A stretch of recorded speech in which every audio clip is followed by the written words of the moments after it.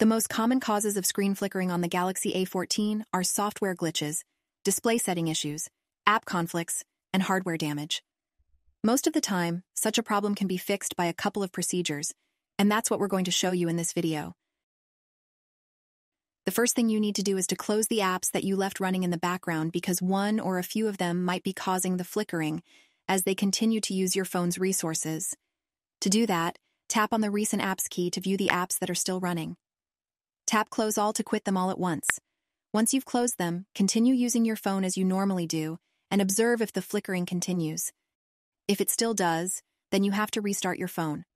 As long as your Galaxy A14 doesn't exhibit signs of physical or liquid damage, a reboot will always fix the flickering issues. So press and hold the volume down button and the power key for a couple of seconds until the power options show.